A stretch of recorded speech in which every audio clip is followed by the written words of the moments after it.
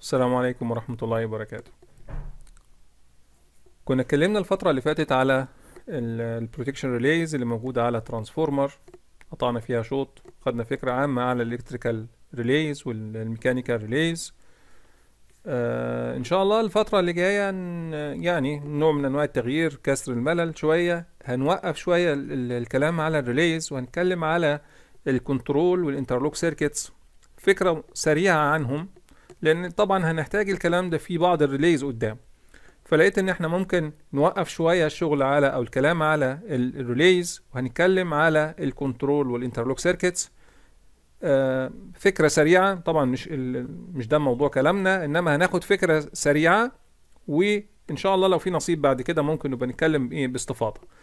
إنما هو الغرض الرئيسي دلوقتي إن إحنا هنتكلم ناخد فكرة سريعة عنهم على أساس الكلام ده هيساعدنا في الكلام عن بعض ال protection relays بعد كده.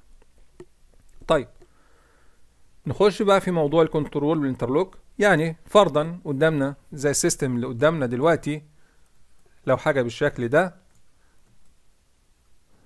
system مكون من two bus bars ناحية ال high ده هنا ال high, ال high مثلا فرض إن هو 220 كيلو وال low 66 كيلو فولت. آه فرضا إن هو system مكون من كده two bus bars وكل باص مت... آه متقسم ل two sections وجزء اللي في النص خاص بال bus coupler يبقى جزء اهوت في بيسموه سكاكين طولية ده أو بيسموهم ممكن آه bus section disconnector أو bus disconnector وما إلى ذلك.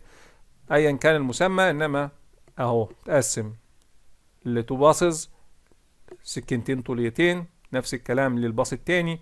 نفس الكلام سكينتين وبينهم ال- الباسكابلر. الباسكابلر عبارة عن breaker و two disconnectors في الجهتين. نفس الكلام في ناحية ال low. حاجة بالشكل دوت.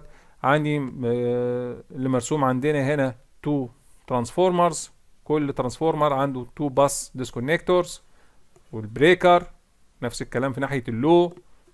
طيب حلو قوي. الكلام ده ممكن يكون عندي lines single line diagram طبعا هنا ما فيهوش lines بس الطبيعي إن هيبقى أكيد في lines موجودة. آه الكلام ده. طيب أنا عايز أعمل closing أو opening لأي breaker أو أي disconnector موجود عندي. أقفله إزاي؟ وأفتحه إزاي؟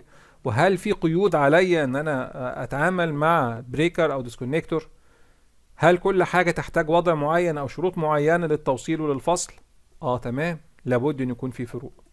الفروق دي ناتجة عن إيه؟ قال لك إن أنا عندي في breakers وفي disconnectors وعندي في earth switch دول قد يكونوا هم المكونات الرئيسية لأي single line diagram breaker disconnector earth switch إيه الفرق بينهم؟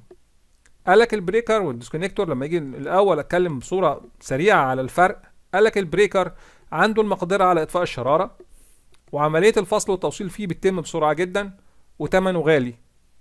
حلو. ال disconnector آه عملية التوصيل والفصل أبطأ إطفاء الشرارة ما عندوش المقدرة على إطفاء الشرارة واكيد والثمن أكيد أقل. جميل. يبقى أنا محتاج طب أنا طب هل أنا ممكن أحط بقى ال- ال- ال system كله breakers هيبقى على حساب ال cost ال cost عالي. أحط كله disconnectors مش هقدر أقفل ولا أفتح دايرة. دايما ال breaker هو اللي يقفل ويفتح الإيه؟ الدايرة الكهربائية. يبقى ال breaker آخر حاجة تتوصل أول حاجة تتفصل. آخر حاجة تتوصل أول حاجة تتفصل. يبقى فتح وقفل الدايرة عن طريق ال breakers لأنه عنده المقدرة على إطفاء الشرارة. حلو؟ تمام. ال disconnectors موجودة ليه؟ بتساعدني بقى في عمليات الايه ال- ال- التشغيل المختلفة. سواء عملية التشغيل إن أنا ممكن عندي two buses عايز آه عندي facility إن أنا أوصل ال load دوت أو ال source الفلاني على باص معين أو عايز أنقله لباص تاني. الكلام ده يتم عن طريق ال disconnectors لو عايز اعمل maintenance ل breaker أو عايز اعمل maintenance لل transformer أو لأي حاجة ال disconnectors دوت فصلها يأمن لي المهمة اللي أنا عايز أعمل عليها. صيانة. تمام؟ ده الدور.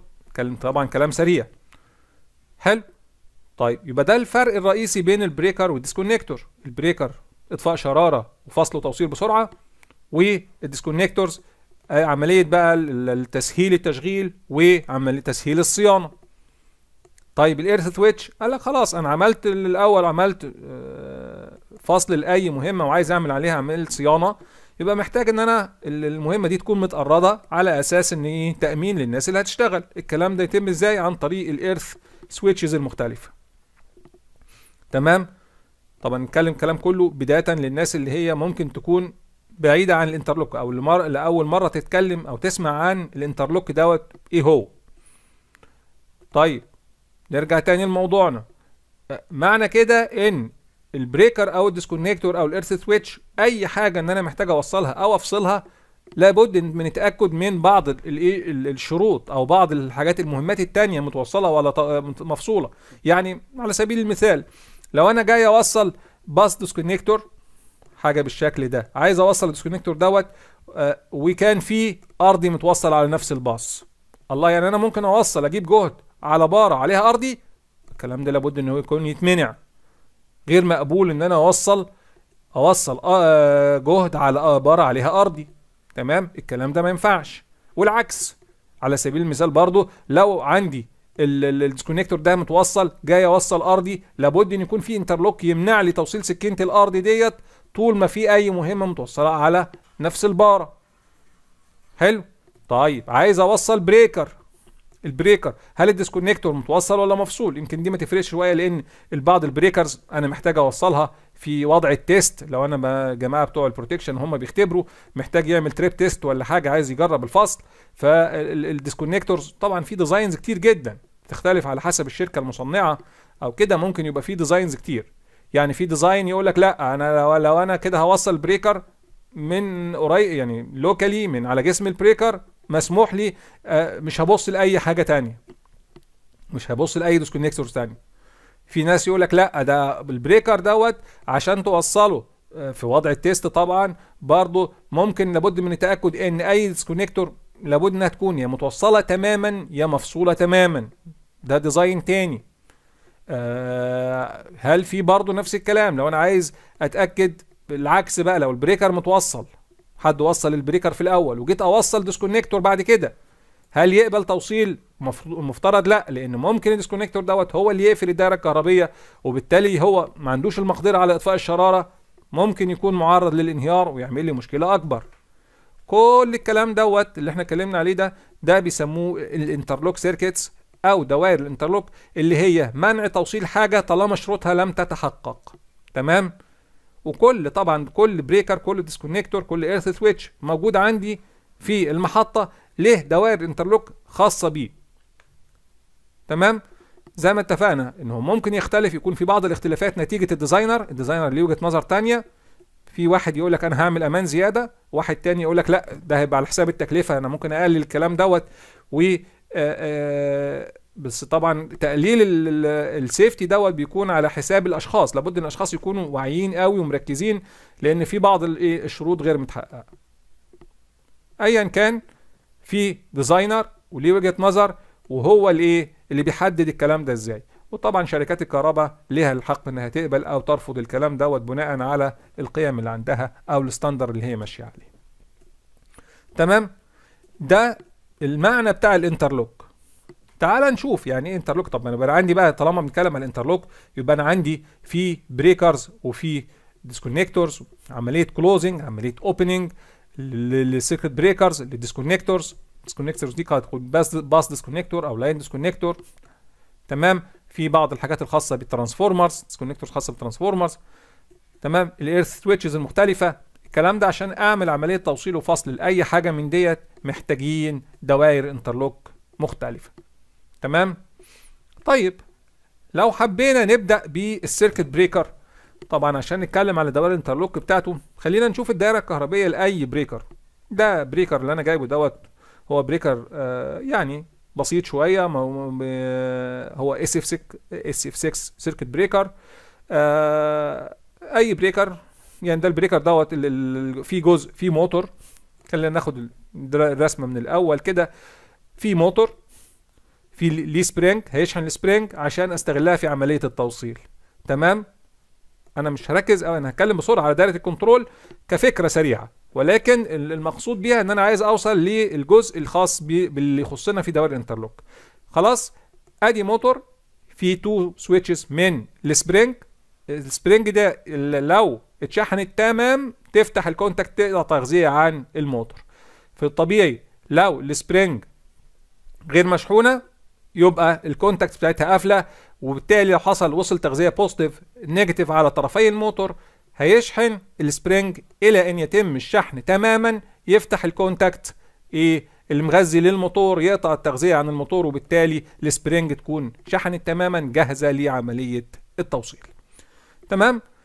عندي الرسمة اللي عندي هنا فيها عشان أعمل عملية توصيل محتاج ال on coil اللي بيسموه Y 1 مرتبط بيه في هنا anti pumping coil K 1 في ال off coil Y 2 أنا مش هتكلم برضو دلوقتي النهارده على تف... بالتفصيل على ال anti pumping circuit ولا ال anti slam circuit ولا الكلام دوت ما يعنينيش قوي.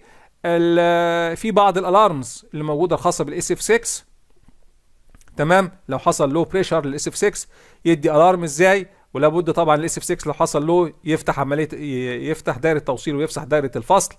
إن كان في بعض ال designs إن هو آه لو حصل low pressure ممكن يعمل trip إن كانت الحتة دي فيها خطورة شوية إنما موجودة.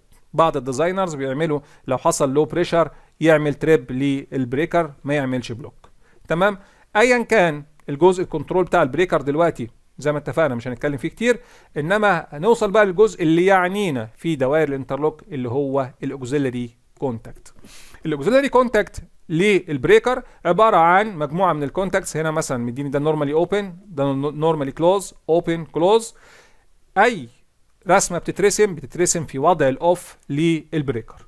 حاليا ده الوضع ال off بتاع ال breaker. عندي أربعة contact موجودين اتنين close واتنين open close open close open ال contact ديت لو ال breaker اتوصل كلها هتغير وضعها ال close هيبقى open وال open هيبقى close تمام؟ ال auxiliary contact ديت أنا أقدر أستغلها في دوائر ال interlock. تمام؟ يعني إيه؟ أنا عايز أعرف ال breaker ده متوصل ولا مفصول عشان أدخله في دايرة توصيل أو فصل بتاعت مهمة أخرى بتاعت سكينه disconnector تاني سكينة تانية أو earth switch تاني أو كلام من ده. بتعتمد على ال breaker ده. يبقى الكلام ده يتعرف من من خلال إيه؟ من خلال ال auxiliary contact اللي مرسومة قدامي ديت. تمام؟ لو أنا محتاج contact يبقى أنا محتاج واحد close لو أنا لو هي هتتوصل مع ال breaker open يبقى أنا هاخد normally close contact لو أنا. محتاجها إن هي تتوصل لو كان ال breaker متوصل يبقى لازم آخد normally open هيقفل مع توصيل ال breaker يكمل السكة بحيث إن أنا أستغلها في عملية توصيل الايه ال disconnector الثاني أو ال earth switch الثاني أو كده. تمام؟ دي الفكرة العامة. يبقى كل breaker موجود عندي في مجموعة من ال auxiliary contact هي ديت اللي بتخش معايا في عمليه الفصل والتوصيل للمهمات التانية. دي كانت فكرة سريعة عن دوائر ال control لل breaker وكان التركيز أكتر على وجود ال auxiliary contact اللي أنا بستغلها في دوائر ال interlock. ونتقابل إن شاء الله المرة الجاية.